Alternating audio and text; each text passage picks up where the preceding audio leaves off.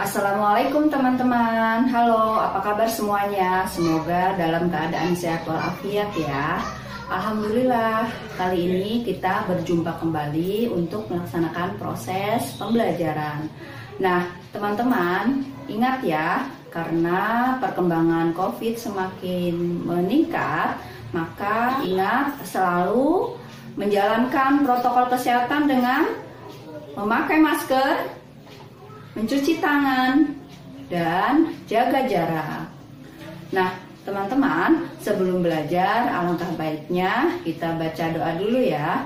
Bismillahirrohmanirrohim.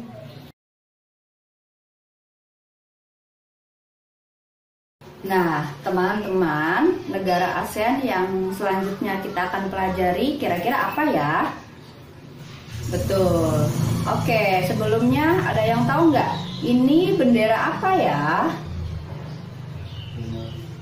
Dan ini bangunan apa ya? Nah, untuk lebih jelasnya, sebelum kita memulai pelajaran hari ini, mari kita simak video berikut ini.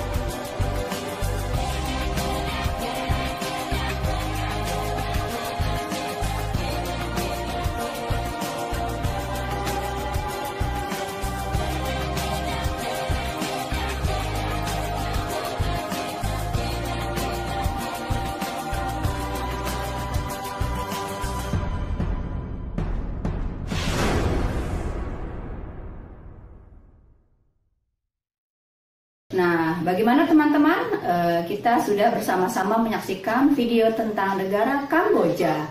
Selanjutnya, kita akan memahami lagi mengenai negara Kamboja dengan memperhatikan dan menyaksikan materi Kamboja berikut ini.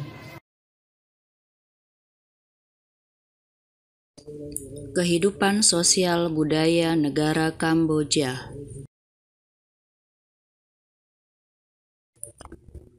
Banyak candi di Kamboja terbuat dari batu. Dewa-dewa dari agama Hindu dan Buddha terukir pada tembok.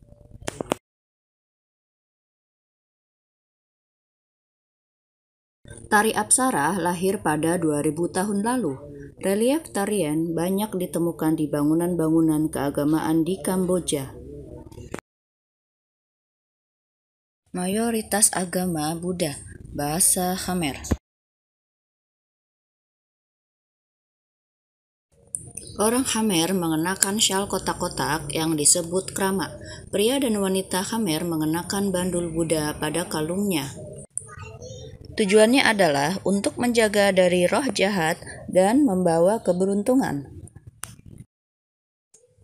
Makanan terkenal Kamboja adalah cah, yang berarti tumisan.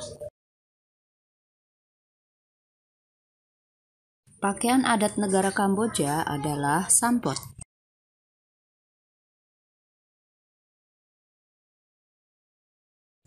Potensi ekonomi negara Kamboja Di Kamboja mengalir Sungai Mekong. Di daerah di sekitar Sungai Mekong merupakan daerah yang subur. Mata pencarian penduduk Kamboja adalah pertanian. Hasil pertanian Kamboja yang besar adalah berupa padi dan karet.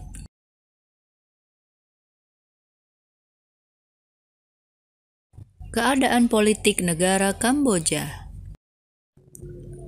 Kepala negara dipimpin oleh Jah Norodom Sihamoni.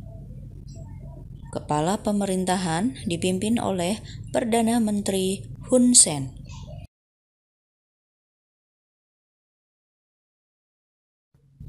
Ibu kota negara Kamboja ada Phnom Penh.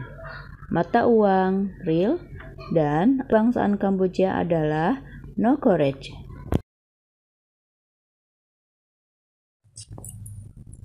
Luas wilayah Kamboja tidak besar. Wilayah Angkor merupakan pusat pemerintahan Hamer.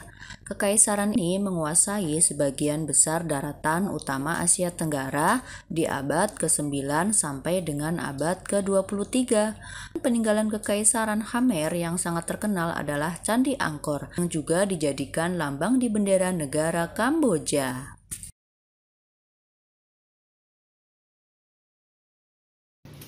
Oke teman-teman, kita sudah bersama-sama mempelajari negara ASEAN yaitu negara Kamboja. Mari kita tutup pembelajaran kali ini dengan mengucapkan Alhamdulillahirobbil alamin. Wassalamualaikum warahmatullahi wabarakatuh.